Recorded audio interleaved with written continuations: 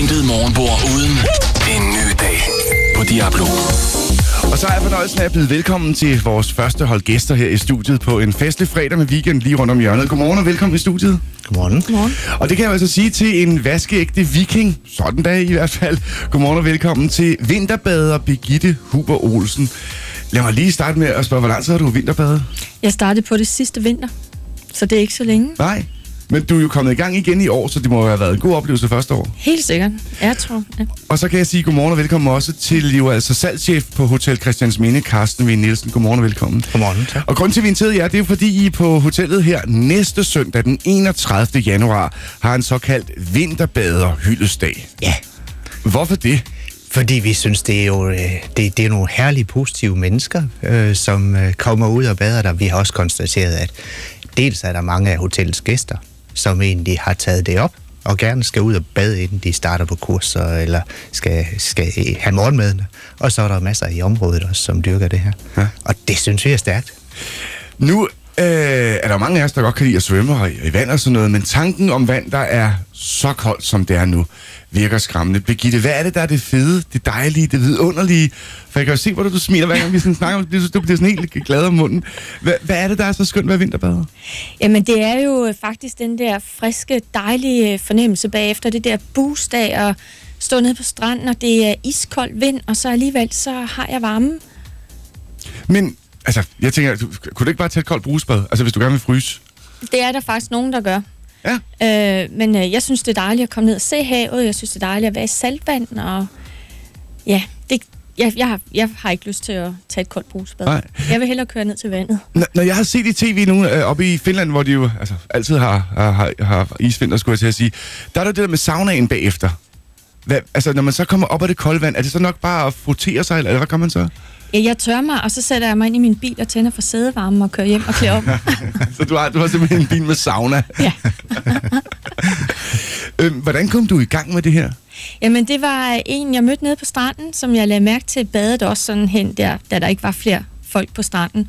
Og så snakkede vi om, det kunne egentlig være sjovt at se, om vi kunne blive ved at bade. Vi havde ingen plan om at vinterbade, bare sådan. Så, så kom vi til at snakke om, vi kunne da mødes og gøre det. Ja. Og så, øh, så havde hun sin nabo med en dag, og så i løbet af en uge, jamen, så var der en, der havde lavet en Facebook-gruppe, og nu er vi 90 medlemmer i den Facebook-gruppe.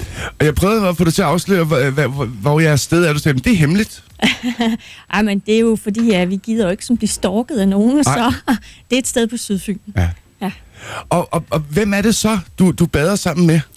Det er en gruppe kvinder fra Ulbølle, mm. Vesterskærning, øh, Vesteråby, omegn. Når jeg spørger, så er det fordi, jeg, øh, for et par år siden, da jeg var på Langlandsfestivalen, jeg var morgenmand, der var jeg lige nede ved havnebadet, og så så jeg, jeg jeg gud, er der en convention for kvinder i slåbrokker?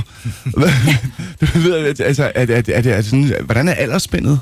Det er meget, meget vidt, vil jeg sige. Det er, der har været lidt store børn med nogle gange til nogle af kvinderne, og det er kvinder sådan også temmelig ældre end mig. Det er meget, meget, vi spænder vidt, vil jeg sige. Og ude på hotellet, når I siger, siger vinterbader, mm. øh, Carsten, hvad, hvad, hvad, hvad er det din oplevelse? Er der, er der sådan en speciel demografi, man kan sige, om det er folk, der kører i den bil, eller noget, man kan sige om dem? overhovedet ikke. Det er folk, der kører i Jaguar, det er folk, der kører i Skoda, det er folk, der kommer på cykler. Det er, det er alle mulige mennesker, og alle mulige aldersgrupper også. Og, og så rent praktisk, altså hvordan, hvordan foregår det? Øh, man kommer ned på stranden, og har, har man så sådan en stor øh, hånd? Altså, kan du ikke prøve at forklare, hvordan, Jo, hvordan, jo, hvordan jo. gør du det?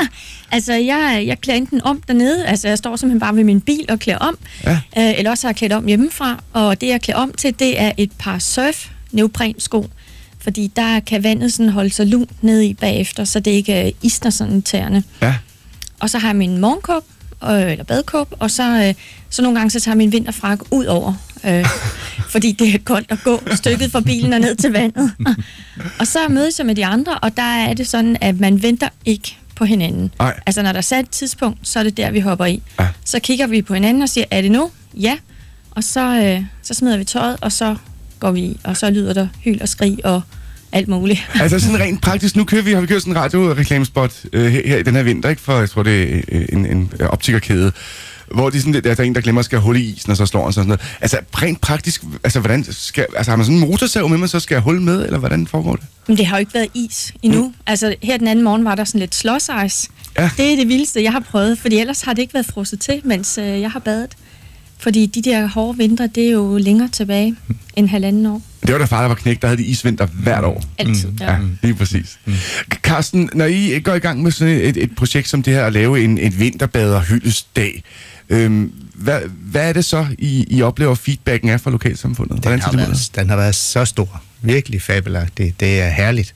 Folk har taget det til sig. Vi har fået øh, rigtig mange tilmeldinger. Og, og derfor vil jeg også opfordre folk, som gerne vil ud og have en gratis brunch den dag, altså dem, der vil ud og bade, at de får reserveret bord, fordi der begynder at være være fyldt op øh, i de lokaler, vi har til rådighed. Vi, har, vi, vi prøver at fylde så meget op, vi kan. Jeg ved, du siger, I Vi dækker op det. stort set, hvor ja, man kan. Vi dækker, vi dækker virkelig op i pejsestuer, restauranter, selskabslokaler og det hele, fordi vi synes, det er herligt, at folk tager det til sig her. Og vi skal tale lidt mere om, om fordi det er jo det, der er hele ideen, det her med, at man, man har mulighed for som vinterbader at få en lille erkendelse fra, øh, fra Hotel Christians Minde. Men jeg skal lige høre, øh, Birgitte, altså nu er du ikke medicinsk uddannet eller læge, men hvad oplever du, det gør for din sundhed, altså din over, over, øh, almen velbefindende, at være vinterbader? Jamen, øh, hvis jeg for eksempel er rigtig træt en dag, så kan man jo godt være fristet til lige at tage sådan en powernap på sofaen. Der synes jeg jo, det er rigtig dejligt at køre ned og bade i stedet for, fordi det bliver jeg lige så frisk af, men endnu friskere. Jeg jeg står bare og tænker på hele min weekend, hver gang jeg så får lyst til en nap, og jeg tænker, "Ej, jeg burde tage ned og vinterbade i stedet for. Så, det, jeg, jeg, altså, jeg kan jo se, hver gang du taler om, der er sådan glød, der stråler. Jamen, det, det, der sker et eller andet. Der sker en afhængighed, fordi jeg kan faktisk ikke lade være.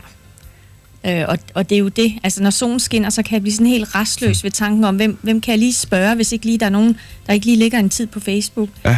Øh, fordi at jeg vil ikke gå glip af det, fordi det er så fedt, især når solen skinner. Men nu her på... Ja, bader du dernede? Jeg, altså, ikke hver dag. Det gjorde jeg sidste vinter næsten hver dag, men, mm men i år har jeg taget det lidt mere afslappet, fordi jeg troede, at man var nødt til at bade hver dag, for ellers så kunne man lige pludselig ikke, så blev det for koldt. Men det har jeg opdaget, det sker der ikke noget ved. Nej, nej. Man kan sagtens tage en uges pause. Og så er du altså ret sikker på at inviteret nu også her næste søndag, når der er vinterbaderhyldesdag ude ved Hotel Christian. Og det er simpelthen fordi, jeg har set så mange vinterbadere dernede. Ja, det er det. Vi vil gerne øh, gøre lidt for dem, og også vise, at vi har nogle fantastiske rammer til det ude ved Christiansminde. Men det er jo hele vejen hernede på Sydfyn, folk de går ud og vinterbader. Dem vil vi godt samle lidt her. Og det gør I jo altså nu på søndag, og du fortalte, at der er en gratis brunch til alle vinterbaderne. Hvad nu, hvis, hvis de kun lige har tid, og de har travlt, og der er lidt ventetid og sådan noget, kan de så gemme brunchen til en anden dag? Ja, det kan de. Ja. Øh, og det er jo søndag den 31. vi gør det. Og det er ja. dem, der kommer og bader kl. 11 om formiddagen. Der står vi dernede og giver dem en lille billet til en, til, øh, til en brunch på hotellet. Og til dem, der er med, som Ja, jeg skulle til at sige, det- ikke det lige, bliver jo et tilløbsstykke, har- så hvad med alle dem, har der står og husket badebukserne, ja. eller hvad det nu må være. Øh, til dem har vi også et godt tilbud. De kan få en brunch til 1.500 kroner, hvilket er en rigtig god pris den dag. Ja. Men jeg vil foreslå, at man bestiller bord, fordi der er allerede rift om det nu. Ja.